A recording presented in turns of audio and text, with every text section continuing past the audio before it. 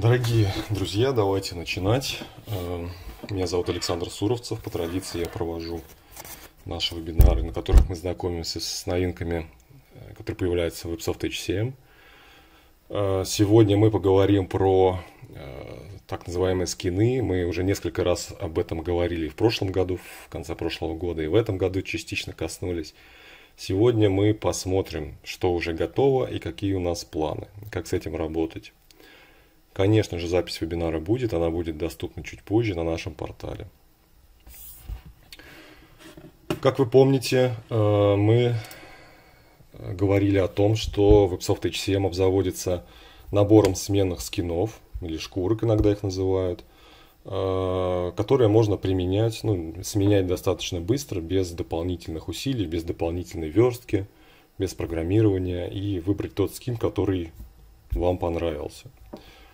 Э, для тех, кто не присутствовал на наших прошлых вебинарах, напоминаю, что эти скины разрабатываются с помощью нашего нового конструктора, который называется редактор страниц. Он входит в поставку Ubisoft HCM, не требует дополнительной лицензии и как раз позволяет создавать произвольные карточки, произвольные страницы или целые скины, о которых мы сегодня будем говорить.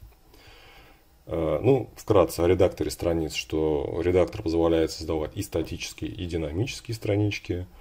Для динамических страничек можно использовать выборки и удаленные действия. Э, все интерфейсы, все странички, все виджеты прекрасно адаптируются ко всем экранам устройств, к мобильным в том числе. Все это прекрасно работает, не потребуется выполнять двойную работу для адаптации.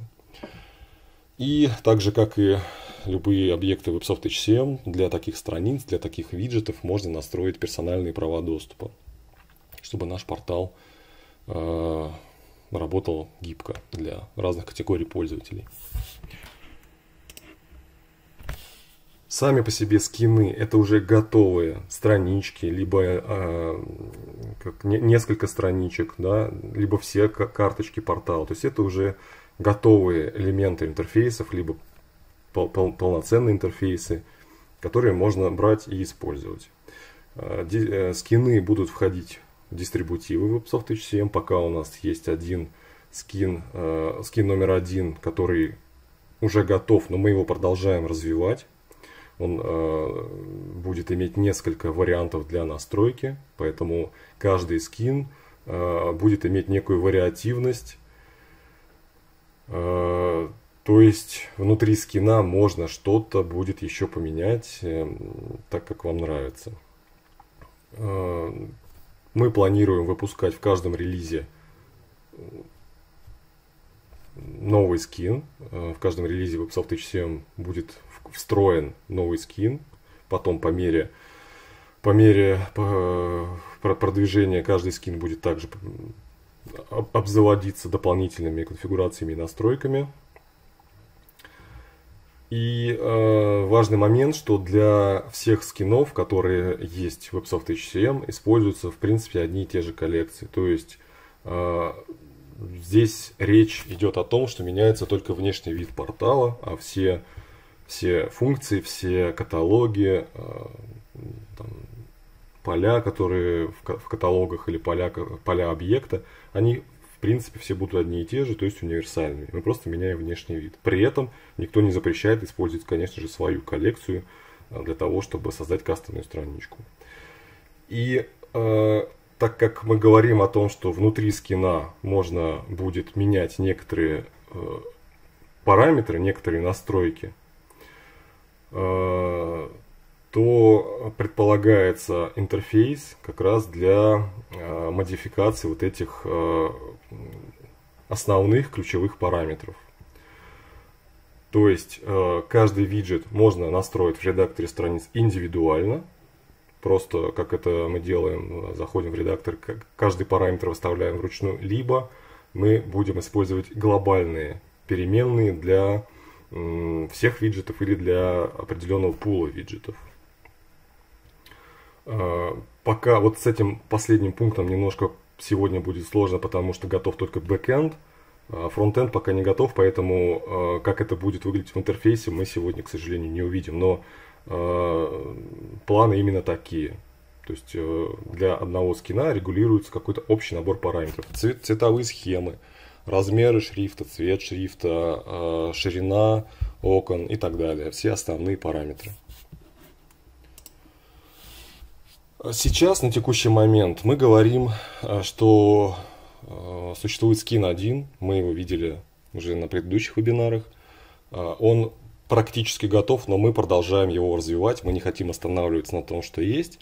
И сейчас у этого скина есть несколько вариантов отображения. И пока здесь, конечно же, в основном стоит говорить о двух вариантах отображения стартовой страницы, то есть главной странички портала.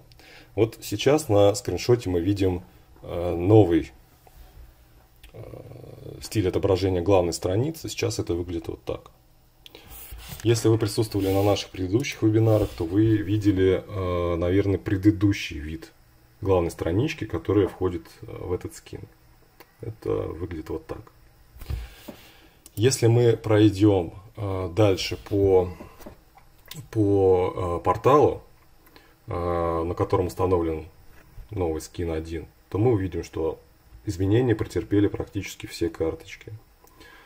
А, это и личный кабинет сотрудника. Теперь он выглядит вот так. Мы полностью его перекомпоновали. То есть мы говорим о том, что коллекции в основном остались прежними. Ну, кое-где мы что-то добавляли, если каких-то данных нам не хватало. Но, тем не менее, мы говорим о том, что данные у нас все те же самые, но внешний вид этого раздела, этой странички, он другой. Теперь он выглядит вот так. А, здесь из особенностей можно подчеркнуть то, что а, ну, да, существенно потерпело изменение меню, которое а, в карточке пользователя находится. Теперь оно выглядит вот так. И для того, чтобы в таком динамическом режиме у нас изменялись, изменялся список моей задачи в нижней части, есть ряд кнопок, которые здесь представлены в разных цветах, и все эти кнопки активными. Ну, то есть, э, на наш взгляд, стало гораздо красивее.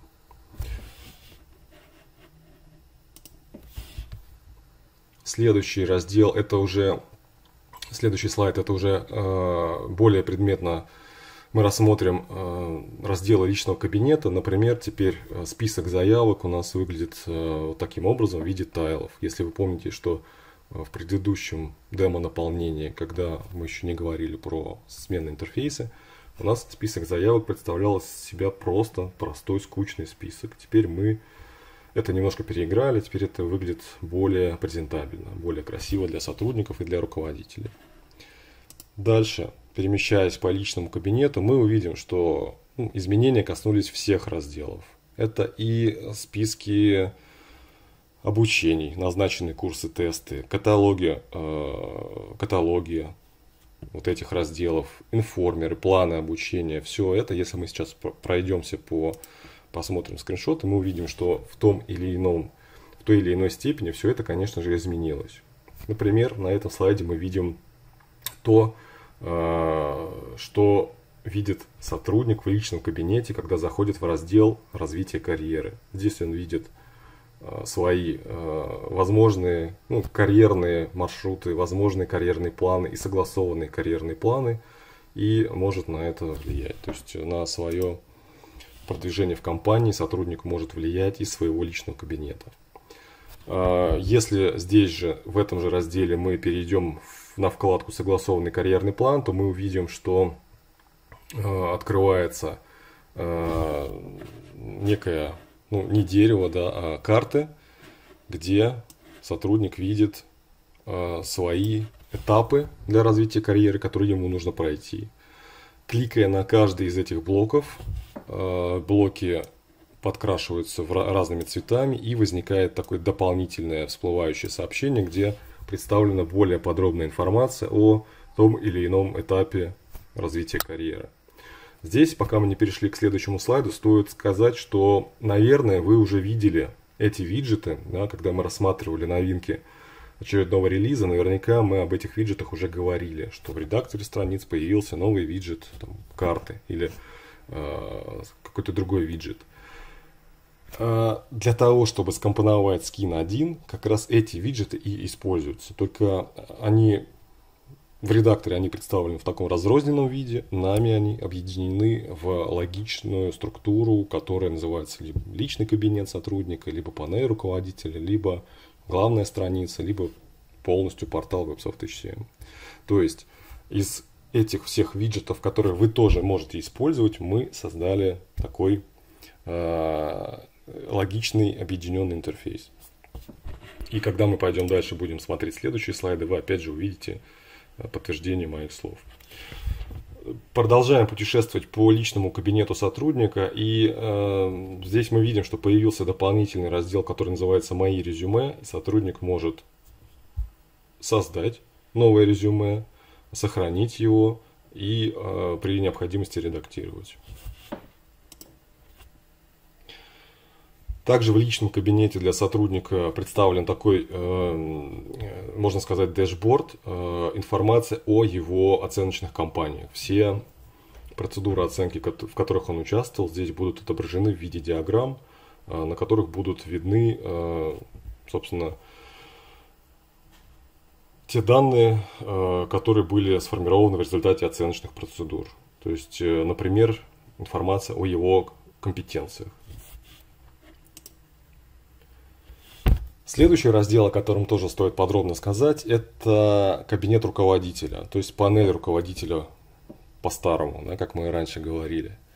А, появился кабинет руководителя, в этом скине он называется именно так. А, этот раздел скомпонован совершенно по-новому.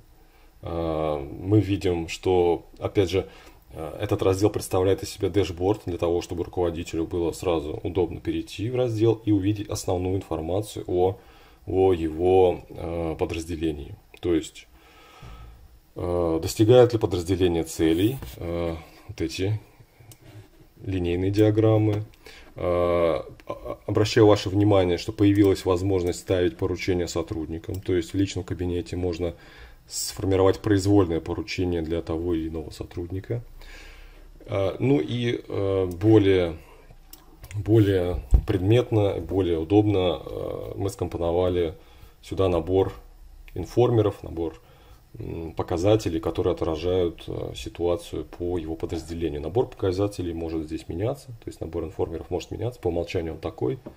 Но э, когда мы говорим про скины, мы должны помнить, что это механизм, который позволяет гибко управлять интерфейсом. И скин, который идет в поставке, который идет в комплекте WebSoft HCM, э, вполне подлежит модификации со стороны администраторов. То есть даже если мы не говорим о том широком наборе параметров, э, который позволит редактировать общие, общие стили, да, то всегда любой скин, любой его компонент, любая страничка вполне себе подлежит модификации с помощью редактора страниц. Поэтому э, набор тех или иных элементов, он не жестко зашит в скин, их можно редактировать. Не уверен, что это нужно, потому что мы постарались наиболее оптимальным образом подобрать сюда те же информеры, но тем не менее такая возможность есть.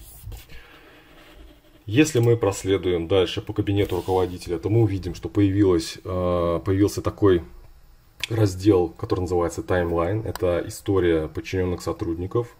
Э, то есть э, мы можем посмотреть активности сотрудников э, в привязке к времени выполнения этих активностей. То есть на какой-то временной шкале мы можем перемещаться с помощью стрелок вперед и назад, отматывая э, там, нашу историю назад в прошлое, например. Э, мы можем выбрать, какую именно информацию мы хотим посмотреть, что наши сотрудники предпринимали. И если мы нашли интересующую нас информацию, то кликнув на какой-либо баллон, э, шарик, у нас откроется карточка с более подробной информацией, что же делал сотрудник. Ну, например, он проходил электронное обучение, кто это был, какая была дата, какая была оценка. Этот тайблайн встроен в кабинет руководителя. А, если мы входим в нашу привычную, ну, как по-старому называлась, панель руководителя и прокручиваем мышкой колесика вниз, то у нас этот таймлайн открывается. Структура подразделений выглядит немножечко по-другому. Если вы помните старую панель руководителя, то у нас там было дерево. Сейчас мы э, в этом скине перешли на вот этот виджет, который называется карты.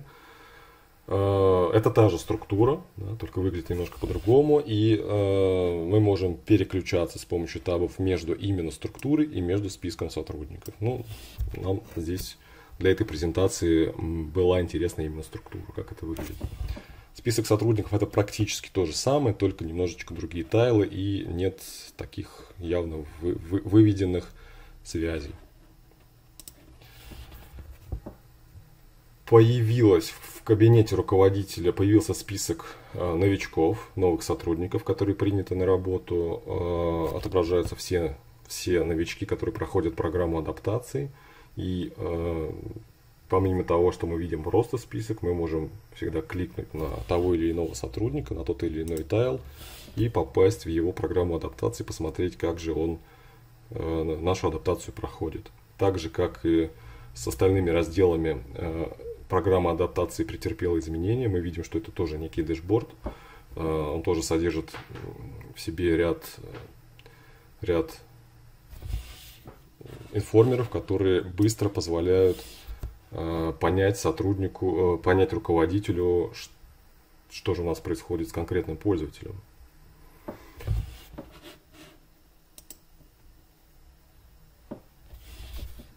Появилась в кабинете руководителя дополнительная вкладка, которая называется «Пул талантов». На этой вкладке мы видим наших потенциальных преемников на ту или иную должность – Э, отображаются наши преемники в виде тайлов. И здесь стоит обратить внимание на то, что типы кадрового резерва могут быть э, здесь разные. Они здесь э, также отображаются. И, соответственно, мы всегда можем понимать, э, есть ли у нас человек, готовый заместить ту или иную стратегическую должность, к какому типу кадрового резерва он относится. И мы можем добавить своего, если необходимо, своего резервиста сюда. И следующий момент – это подбор, а, план преемственности, прошу прощения. Да, вот мы как раз, а, вот, а, апеллируя к предыдущему слайду, можем добавить своего преемника, если необходимо, на ту или иную ключевую должность. А, ну, вручную выбрать сотрудника из списка, указать а, какие-то дополнительные параметры, например, уровень его готовности, потенциал развития, ну и сохранить эту информацию. И следующий э, шаг – это подбор сотрудников прямо из нашего кабинета руководителя. Мы можем сформировать заявку на подбор сотрудника, на подбор персонала и, э, соответственно, отправить ее. Здесь же появилась кнопка, которая называется «Перейти к подбору кандидатов», и при ее нажатии откроется уже э, интерфейс ESTAF, э, веб-интерфейс ESTAF, а, с помощью которого мы можем работать уже непосредственно с кандидатами, с э, вакансиями и выполнять какие-либо события в отношении наших кандидатов. Ну, то есть э, очень все это здесь похоже будет на плавный бесшовный переход. Откроется новая вкладка с веб-интерфейсом Естав. При необходимости это можно использовать. А, теперь, когда мы посмотрели кабинет руководителя, здесь следует сказать несколько слов о других а, разделах портала, а, ну, например, о каталогах. Здесь на этом слайде у меня представлен каталог новостей, но, конечно же, Skin 1 включает в себя новый интерфейс для отображения любых каталогов, будь то новости, курсы, тесты, списки разнообразные. Новый Skin 1, он ну, содержит дополнительные возможности для настройки отображения внешнего вида каталогов. Ну, на примере у нас это выглядит вот так, на нашем скриншоте. Да, и здесь несколько слов хочется сказать о том, что есть, конечно же, основные разделы портала, о которых вот мы уже поговорили. Это личный кабинет, панель руководителя, главная страничка. Но, конечно же, остаются а, дополнительные вспомогательные разделы портала, ну, вот именно в прямом смысле разделы портала которые содержат, э, включают в себя какие-то списки объектов. Конечно же, они тоже должны выглядеть соответствующим образом и использовать те же стили, что и весь портал. И каталоги будут выглядеть вот так. А, в Skin 1 также подверглись изменению виджеты, которые э, участвуют в настройке геймификации на портале. э, виджет, например, виджет лидеры теперь также выглядит вот так. И все это э, используют, э, эти виджеты используют те же стили, что и кабинет руководителя, что и панель, что и личный кабинет пользователя. И следующий виджет это мои бейджи, он теперь выглядит вот так.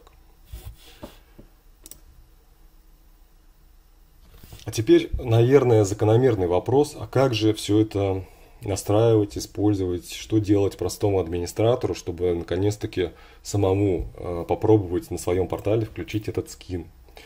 Э, и здесь наша политика такая, что э, скин это, это по сути сайт. Да? Вы прекрасно знаете, что в Websoft HCM можно создавать неограниченное количество сайтов.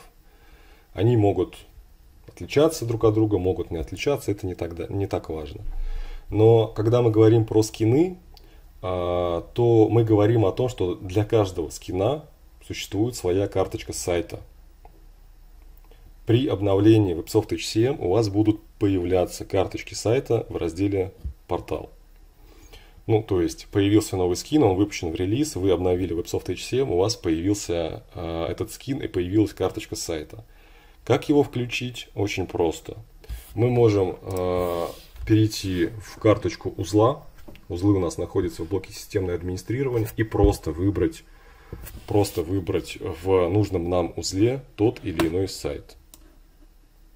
Ну, просто с помощью нескольких кликов. Как только вы это сделаете и сохраните карточку узла, у вас на вашем портале сразу применится нужный вам скин. Конечно же, следует, наверное, сначала попробовать на Э, узле, который не виден всем пользователям, да, то есть можно попробовать э, включить его, посмотреть самому, показать коллегам. А, если нас устраивает скин, но требуется что-то в нем немножечко поменять, то это тоже можно сделать. И как только у нас э, наш новый скин полностью вас устраивает, вы можете его включить для, для основного сайта с помощью двух кликов мыши.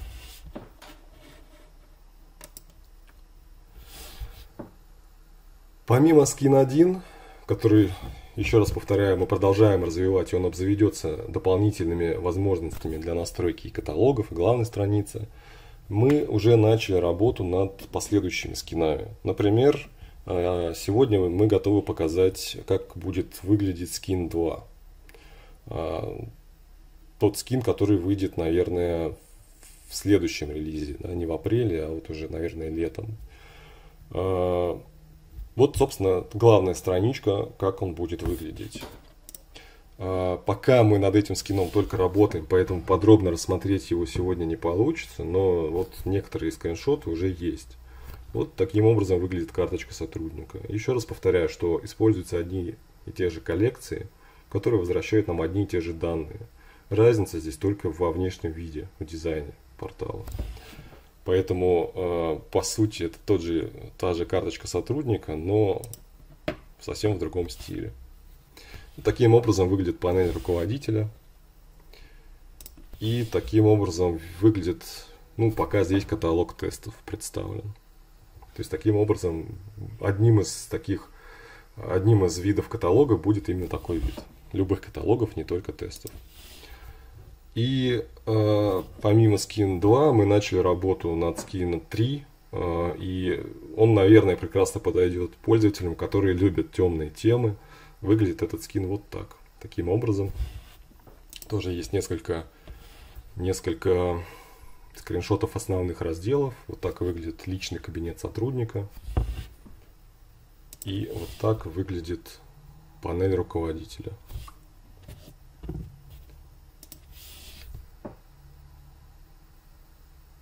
на этом про скины пока все. А здесь в заключении нашей презентации хочется сказать, что, ну, конечно же, если мы возвращаемся к редактору страниц, то в редакторе мы найдем полный список, полный список, э, скажем так, компонентов нашего скина. Ну, например, это любая страничка, любой виджет. И здесь хочется отметить, что, ну, вот есть некий список наших страничек, да, здесь он представлен у каждого такого э, компонента скина, то есть, у, например, у главной странички есть код, и этот код является модом. Да? Если вы часто настраиваете портал, то вы знаете, что такое мод. Поэтому э, какой вывод отсюда следует? Вывод такой, что мы можем, зная код отдельного компонента скина, мы всегда можем открыть его на портале. Э, что это значит? Это значит, что мы можем использовать не весь скин, а только отдельные его компоненты. Например, нам нравится карточка сотрудника, мы э, хотим оставить свой предыдущий дизайн, но при этом включить э, на портале карточку сотрудника из нового скина. Э, в настройках портала мы прописываем нужный нам мод, и карточка начинает открываться уже новая из нашего нового скина. То есть таким образом не обязательно нам э, использовать целый скин целиком. И второй момент. Второй момент. Э, мы можем использовать э, в одном и том же скине разные карточки. Ну, например, есть три скина, а, есть три каталога там, с, с курсами, например, с электронными курсами. На три каталога для новых сотрудников, для а, там, работающих сотрудников и для руководителей. Мы можем настроить таким образом, чтобы для каждого из этих каталогов открывались разные карточки курсов либо кастомные карточки, либо те, которые входят в наши стандартные скины. А, для этого нам достаточно перейти в, в блок дизайнер типа страниц и выбрать, выбрать э, у того или иного у той или иной странички нужный нам дизайн. Вот сейчас я выделил на скриншоте. Тут, если вы видите, то мы находимся в блоке дизайнер, типа страниц. А, типы страниц здесь а, относятся к категориям, которые соответствуют названию скина. И если мы перейдем в карточку какого-нибудь э, какого-нибудь э, на, на нашей страничке, да, например, карточка курсов, то мы можем привязать ее к нашему дизайну мы можем привязать ее к, к существующему дизайну, который сейчас у нас на портале работает. Ну, при этом обращаю внимание, что должен быть установлен чекбокс по умолчанию. Это значит, что карточка активна. Да, и второй момент, вот то, о чем я хотел сказать, а, это то, что из разных каталогов мы можем а, открывать разные карточки, которые относятся к разным скинам. Сделать это с одной стороны просто, нам достаточно в адресной строке в ссылку прописать нужный нам мод. Помните, мы там, двумя слайдами ранее говорили, что каждая страничка имеет свой код, который равен моду. То есть на портале это сделать достаточно просто. Нам необходимо просто в адресную строку добавить нужный нам мод. Но э, таким образом мы можем заменить карточку, просто заменить карточку, например, курса.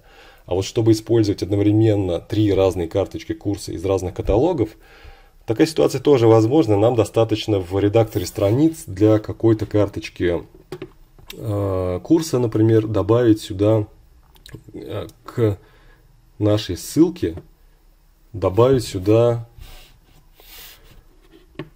текст с подстановками. Таким образом, э, у нас в нашу ссылку, которая формируется автоматически, будет добавлен нужный нам мод. Нужный нам мод. То есть таким образом для одной странички мы в ссылку добавляем еще один маленький элемент, который позволит нам открыть именно уникальную карточку. Либо ту, которая входит в скин, либо свою кастомную.